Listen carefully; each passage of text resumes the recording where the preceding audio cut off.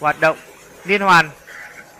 Trước mắt các bạn là bộ phận bóc gạo nức.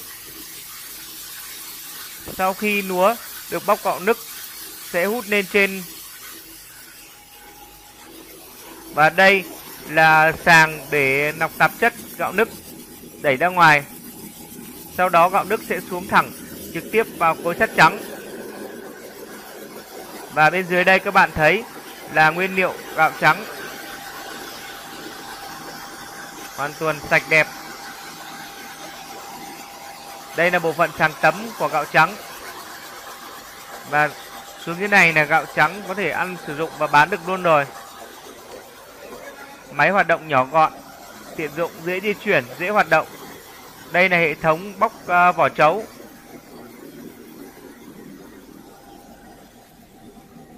đưa ra ngoài thùng phi hoặc là đưa ra ngoài bao bố.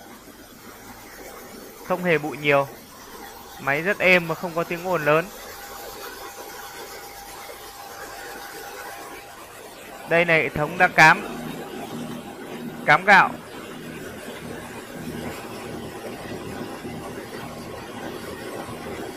Máy có chức năng nọc sạn nha các bạn.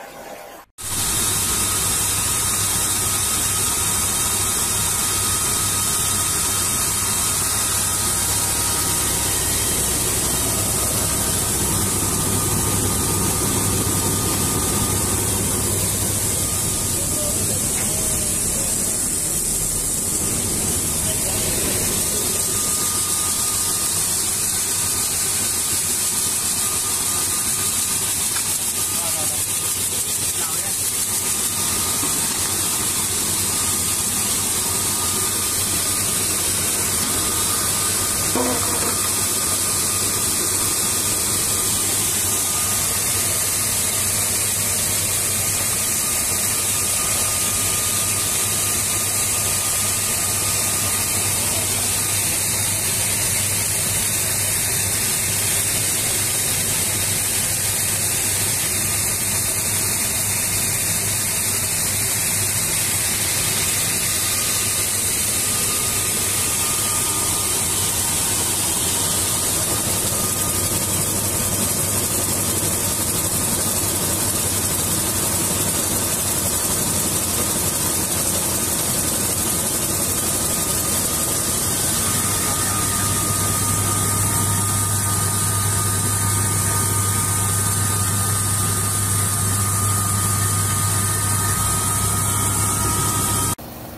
Xin giới thiệu tất cả các bạn.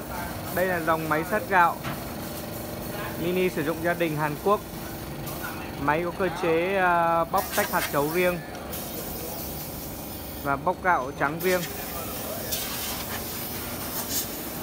Máy sử dụng liên hoàn. Chúng ta chỉ việc đổ lúa vào trong máy Và máy sẽ bóc gạo nước Và hút nước lên khối bóc trắng. Và bóc trắng ra. Đây là nguyên liệu mới bóc xong nha các bạn. Đây là chấu. Chấu được bóc riêng này các bạn này.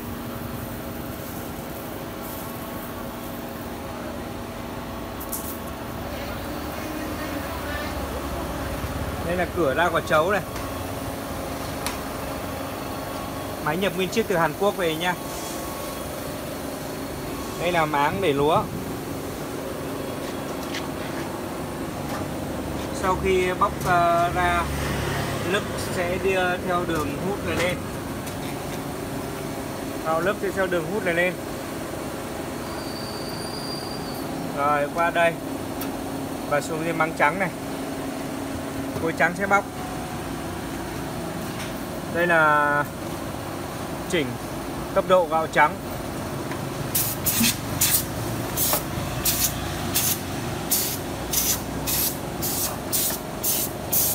Máng gạo trắng như là đây.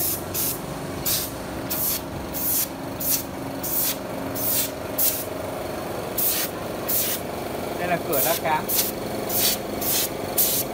Đây cám mới ờ, khác ở đây các bạn.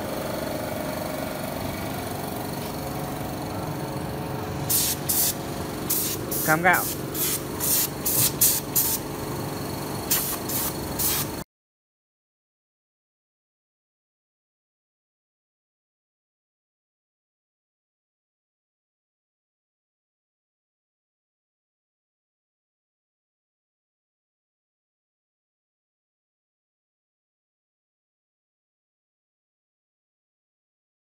Bà con đừng quên bấm nút đăng ký kênh video của Thế giới máy và bấm nút chuông ở bên cạnh để nhận thông báo mỗi khi Thế giới máy đăng tải video mới hướng dẫn sử dụng máy móc, thiết bị cho bà con.